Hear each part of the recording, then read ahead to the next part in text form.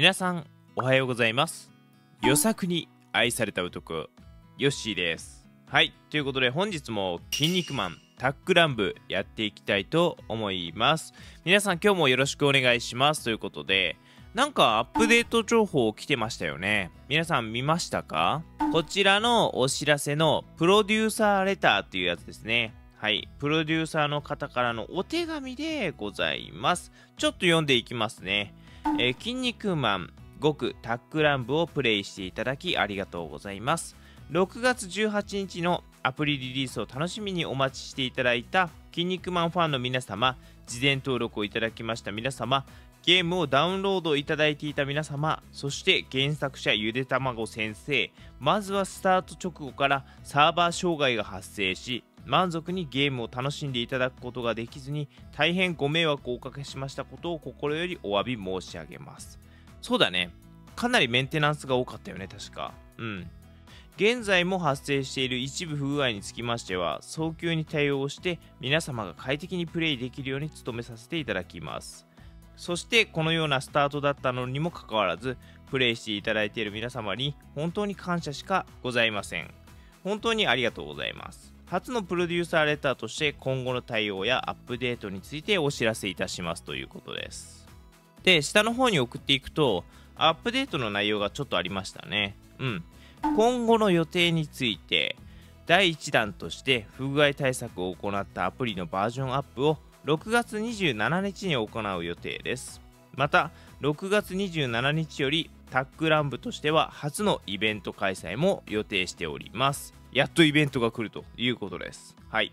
7月に入ってからはコロシアムの開催も予定しております。新しくリングインする新超人たちも腕を鳴らして待っております。誰が来るんだろうね。これまた楽しみですね。うん。で、X でご意見いただきました内容等はしっかりと全て確認させていただきました。皆様が希望されているアイテムもイベントの報酬に盛り込ませていただきましたということで、まあね、このようにプレイヤーの皆さんのね、意見と聞き入れながらね、えー、プロデューサーはやってくれるということなので、また皆さんアップデート楽しみにやっていきましょう。はい、ということで、ちょっとね、お知らせだったんですが、皆さん見ました？はい。見てなかったら、まあ、ちょうどこれを見ていただいて、えー、見ている方はもう飛ばしていただいて、あ、もうこの時点で飛ばしているか。はい。ということで、今回の内容をやっていきたいと思います。えー、今回の内容は、えー、このリリース記念ガチャなんですが、えー、200連引くことによってキャラクターの交換することができます。はい。で、この交換につきまして、どのキャラクターがおすすめかっていうのをね、ちょっとお話ししていこうと思うのでね、よかったら、え最後まで見ていってください。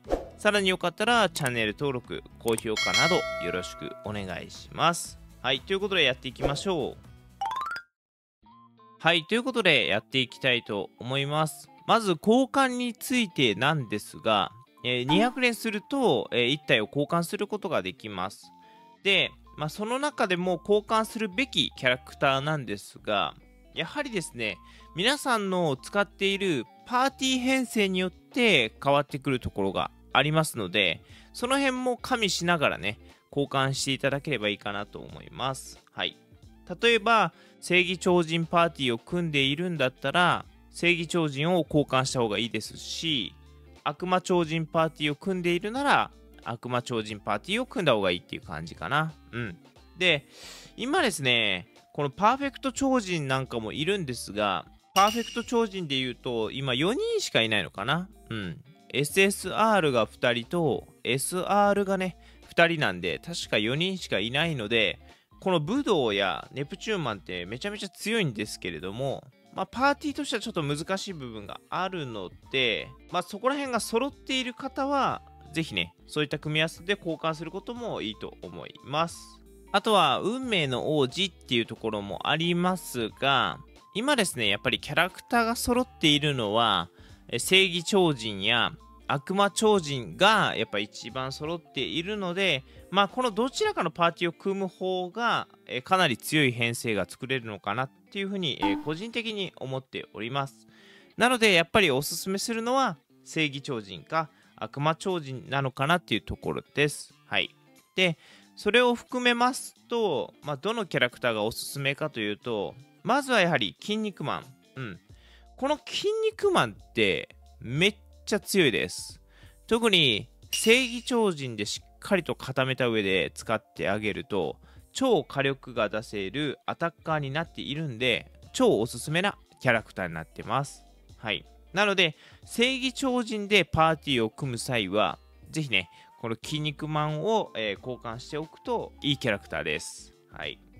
はい、えー、続きましては、このロビンマスクですね。ロビンマスクも非常に強力なキャラクターなんですよ。うん。で、このキャラクター単体が強いっていうよりも、どちらかというと、パーティーの底上げをしてくれるっていう部分が大きいですね。うん。えー、どういうことかというと、このロビンマスクの特性が、味方の正義超人の攻撃力と防御力を6%アップということで、まあ、このキャラクターがいるだけで正義超人が強くなってくれるというところです。えー、なので、このロビンマスクもおすすめになっております。はい。えー、特にね、正義超人でしっかりと組む場合は、ロビンマスク、めちゃめちゃいいのでね、ぜひね、正義超人でパーティーを組む際は入れてみてください。はい。えー、お次おすすめなのはこちら、ビッグザブドウということで、このキャラクター、えー、パーフェクト超人になっていて、まあ、パーフェクト超人のパーティーを組むのってちょっと難しい部分があるんですが、このキャラクターの持っている特徴っていうのが非常に強力なので、えー、ぜひね、覚えておいてください。えー、このキャラクターの特徴としては、単体攻撃を自身に引きつけるスキルで、パーティーのタンク役としてね、使うことができるんですよ。はい。つまり相手の攻撃を呼び込むことができると。で、さらに自身を回復することができたりするので、タンク役としては非常に強力。うん。で、まあ、どういった特性を持っているかというと、えー、味方パーフェクト超人1体につき自身の防御力が8%アップ、えー、最大が48%になっております。アンドリング内にいる場合のみ自分のターン終了時自分の HP を小回復という能力を持っております。はい。で、プラススキルで、え、攻撃を自分に向けることができるので、え、かなり強力なタンクになっております。はい。まあ、ぜひね、このネプチューンマンとかと組み合わせて使うといいと思います。うん。あとは、パーフェクト超人を入れておきたいんですが、まあ、最初に話した通り、パーフェクト超人っていうのが、現状4体しかいないので、まあ、そこがちょっとね、難しいポイントかなとは思います。はい。ですが、まあ、将来的に考えると、このキャラクター相当強くなると思うので、今のうちに持っておくとめちゃめちゃいいのかなっていう部分はありますんで、えー、ぜひね、おすすめなキャラクターになっております。はい、ということで、お次の超人なんですが、お次はバッファローマンということで、悪魔超人パーティーを作るなら、このキャラクター必須かなと、えー、個人的に思っております。で、えー、このバッファローマンの特性として、味方の悪魔超人の攻撃力を12%アップという能力を持っております。なので非常に強力なキャラクターです。はい。特性も強いんですが、えまず、えバッファローマの持っているスキル等なんですが、出血と防御減少付きのスキルを持っていて、えー、単体での攻撃がかなり強力なキャラクターになっております。さらに、自分の残り HP を高く保てば、必殺技の威力が上がり、高火力を維持することができると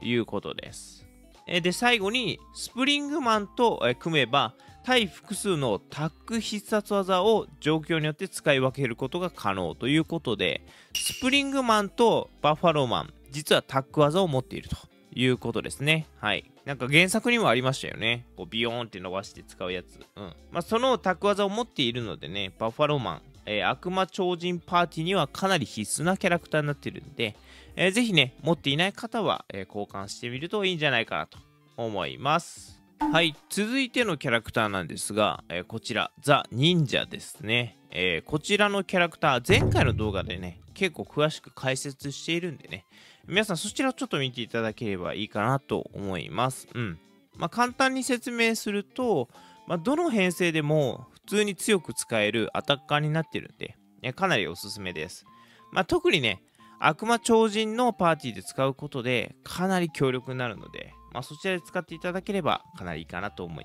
ます。はいおすすめなんでぜひね、えー、皆さん交換してみてください。はいということで、え最後のおすすめキャラクターはこちら。アレキサンドリア・ミート。ということでミートくんですね。うん。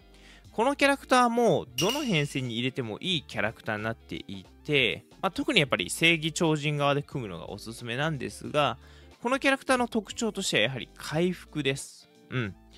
ターン終了時の味方全体回復が控えにいたとしても発動することができるので非常に強力です。はい、えー、さらに単体回復スキルで敵の集中攻撃にも耐久することができると。最後にですね、このミート君の必殺技なんですが、3ターン味方全体の必殺技スキル余ダメージが20%アップということでバフすることができるんですね。うん。なので回復もできてバフすることができるということでミートくん非常におすすめなキャラクターになっております。なので、えー、特にこのキャラクターは、まあ、どの編成に入れても強いので、えー、おすすめになっております。ということでね、以上のキャラクターたちが、この交換におすすめなキャラクターたちになっております。まあもちろん持っていたら、自分の持っていないキャラクター等をね、交換した方がいいのかなと思いますので、自分の手持ちを考えながら、えー、交換して、えー、自分の編成を強くしていただくのが一番いいと思います。はい。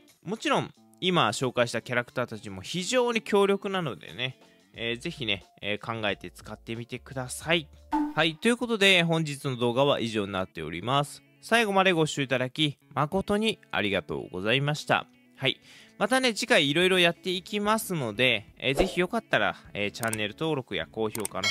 方、よろしくお願いします。あ、あと、最後に一つですね、えー、ぜひね、えー、キャラクターについてなんですが、自分の好きなキャラクターを育てて楽しむのが一番楽しいと思うので、まずはね、自分の推しキャラを育てて、え強く使うのがおすすめです。はい。ということで以上になっております。また次回お会いしましょう。じゃあね。バイバーイ。